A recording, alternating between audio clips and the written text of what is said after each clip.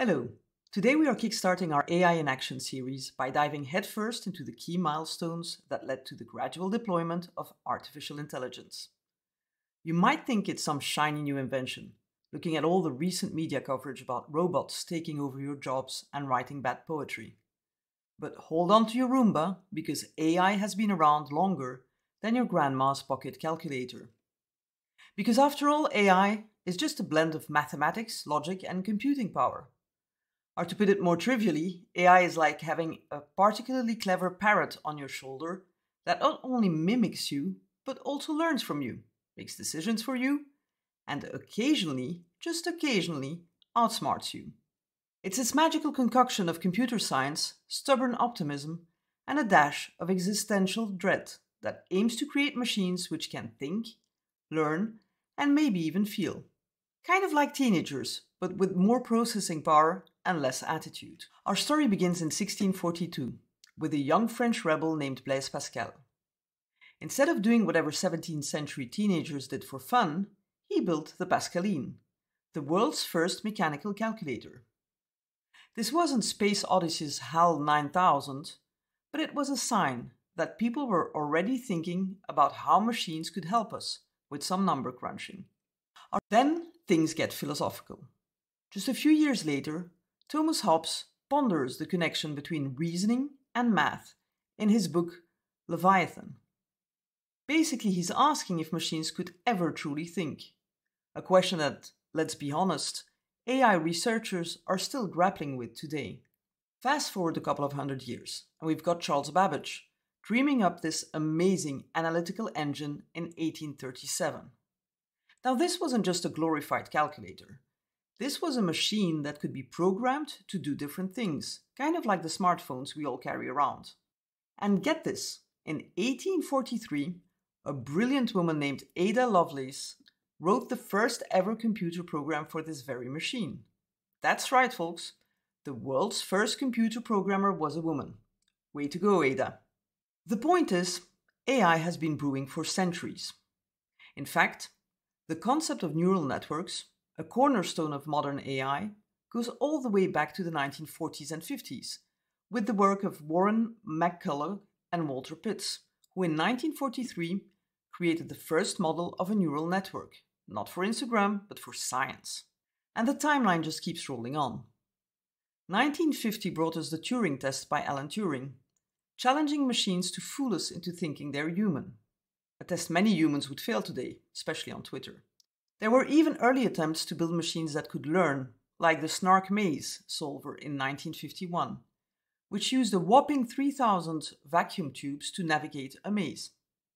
Yes, they basically spent months building the world's most complicated virtual rat, a precursor to today's most advanced AI, scrolling through Netflix without picking anything to watch.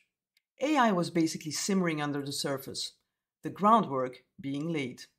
In the mid 1950s, AI wasn't just happening anymore, it had a name.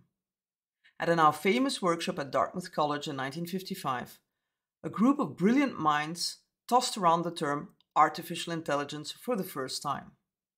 This wasn't just a fancy label, it was a defining moment.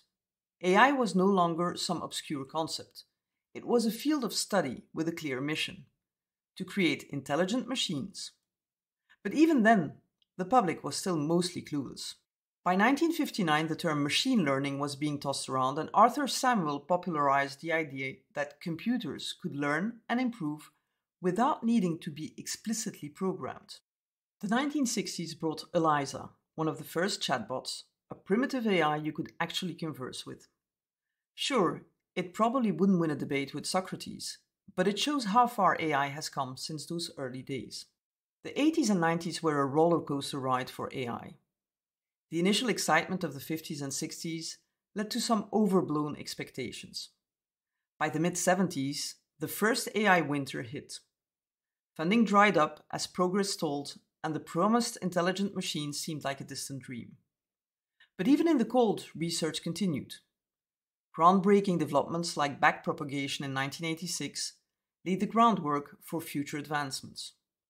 And in 1989, convolutional neural networks showed promise in areas like image recognition, proving AI wasn't a dead end. The 90s saw a second AI winter, but researchers kept pushing. Then in 1997, IBM's Deep Blue shocked the world by defeating chess champion Garry Kasparov.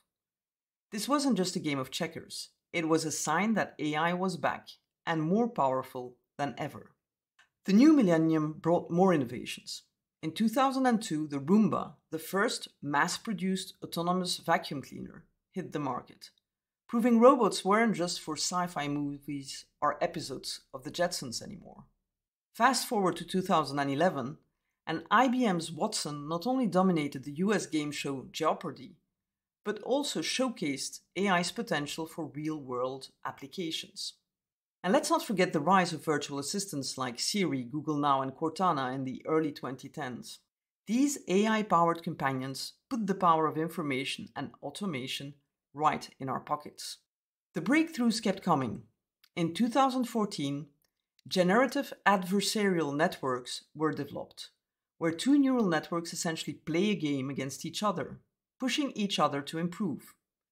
This led to significant advancements in image generation and manipulation. Then came 2016, and the world watched in awe as DeepMind's AlphaGo program defeated Lee Sedol, the world champion Go player.